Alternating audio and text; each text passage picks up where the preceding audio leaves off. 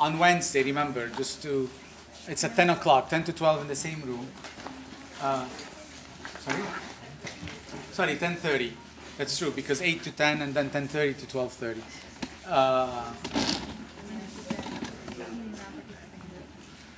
uh, let's see. Uh, it will be 55 questions, just like the syllabus says. It's worth 55 points. Uh, It's a straightforward mathematical calculation, even for me. One point, one question. Uh, there'll be uh, 10 uh, true and false, and 45 regular type, A, B, C, D, E style. And I'm stressing that simply to tell you that the, the time should not be an issue. Now, there will be a lot of calculations, but there's not going to be any question that you're not expected to be able to answer.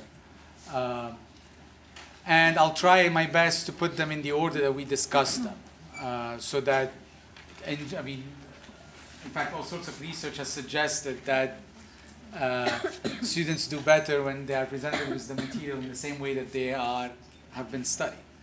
But anyway, so uh, chapter two material will be first, and so on, as much as possible and within reason. Uh, so anyway, uh, from two, so what I'll do in this uh, limited time, relatively limited time that we have, I'll focus on most of the important problems. And but please note that it's not going to be an exhaustive list. So not everything I go over today, uh, or some stuff that I may not have had a chance to go over, you're still responsible for the material that I posted. But I'm gonna uh, try to work out some of the most important problems uh, with you. And with starting with Mendelian inheritance, with Mendelian inheritance, there will be some definitions. Uh, for example, what is a pure breeder? What's the difference between Mendel's first law and second law? Uh, what is dominance? Um, um, so uh, the problems would be uh, if you are given, let's say, this uh, this organism, right? How many gametes would that person produce or that organism produce?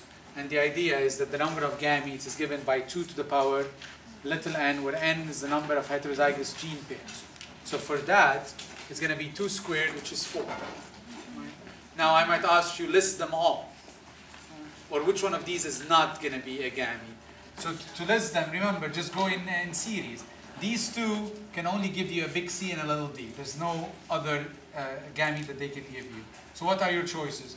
A with big, A with small, small with big, small with small. These are your four gametes. So that would be, let's say, part one of the question.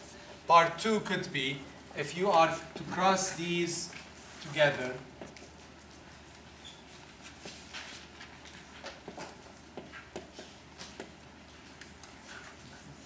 you're crossing this with this one. I mean, some of the, hopefully you do remember how to do this. Uh, uh, if you are to cross this one with this one, what do you have to be told as well before you can do anything?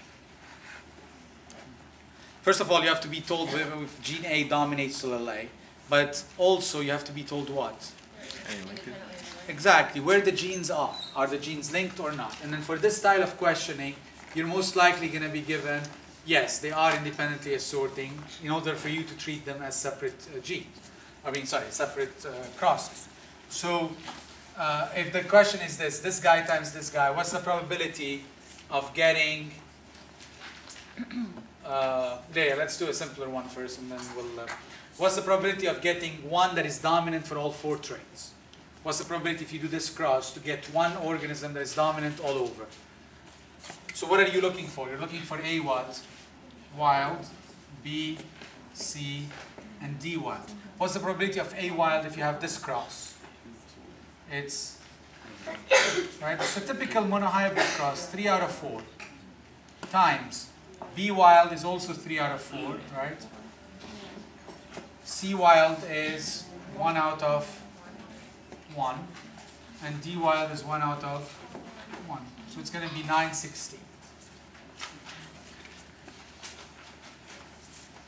If the question was, how many different genotypes can be produced from this cross?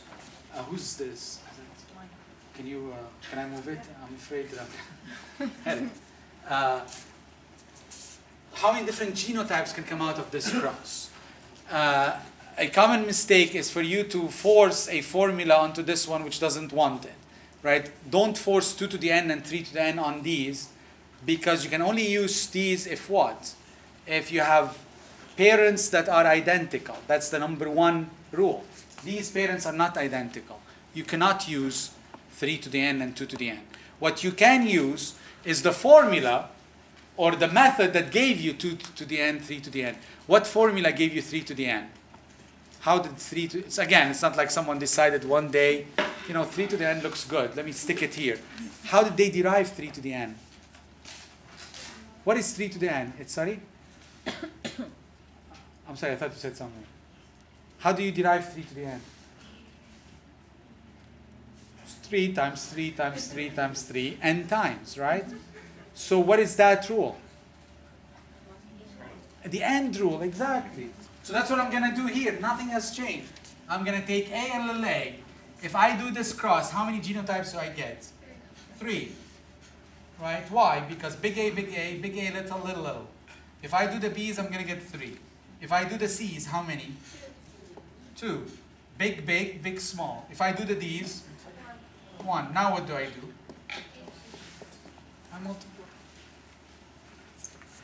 Why was it 3 to the n? Because in 3 to the n, you have C little c times itself and d little d times itself. So it's 3 times 3 times 3 times 3. Only now it's different. 2 and 1 are going to be have to factor, I mean, are going to have to be factored in. If the question was different, if the question was uh, instead of being uh, completely dominant, you're given incomplete dominance, you would still work it out the same way. Only now is incomplete dominance, what, what will you get? Would genotypes matter in incomplete dominance? Let me rephrase the question. you still have one gene that's segregating two alleles, right? One gene segregating two alleles. And you have incomplete dominance, you're comparing it to complete dominance. The number of genotypes will differ. Is the number of genotypes in incomplete dominance different than the number of genotypes in complete dominance? Genotypes, it's absolutely not. You're still going to get big A, big A. You're still going to get big A, little, and little, little. What's going to be different? The phenotypes. Because now you get three phenotypes. You get big, big to be one different, big, small to be a totally different, small, small to be a totally, totally different one. So my point here is that the independent rule of probability will apply no matter what, as long as you have independent assortment so it doesn't matter whether you have complete, incomplete, co, all of them are the same way.